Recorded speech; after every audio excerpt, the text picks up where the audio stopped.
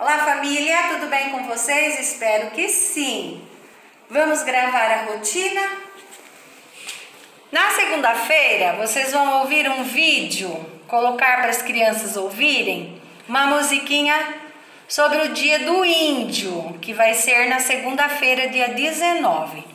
Então depois de ouvir o vídeo, eles vão enfeitar o índio com palitos de fósforo.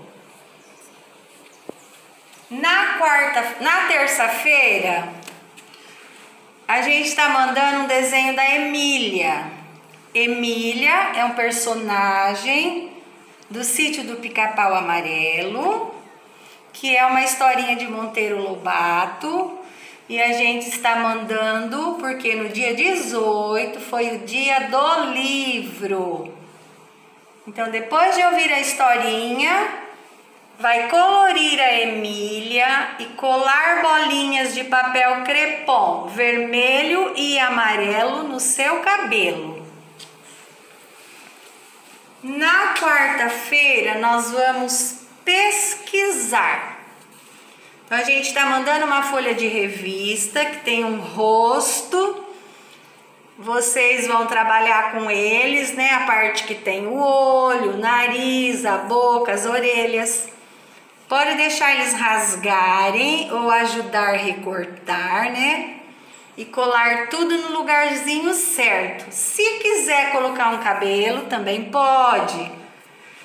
Se por acaso não tiver na revista tudo que vocês precisarem, pode estar desenhando, tá bom?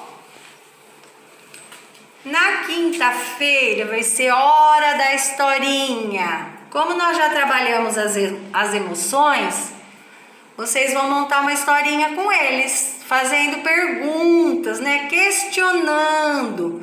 O que, que você está vendo nessa imagem? É uma criança. O que está acontecendo com essa criança? Será que ela está zangada?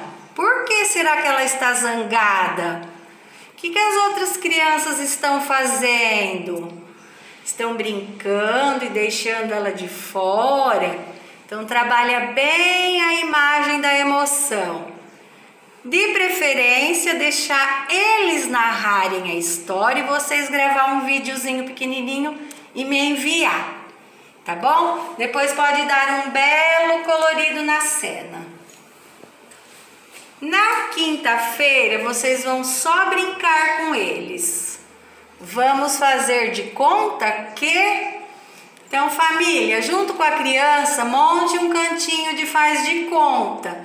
Pode ser um escritório, pode brincar de cabeleireiro, pode brincar de médico, de cozinha. Vocês vão brincar com eles. Deixe eles construírem da forma deles, que eles gostam. E depois vocês vão registrar aqui em forma de desenhos. Tá ok?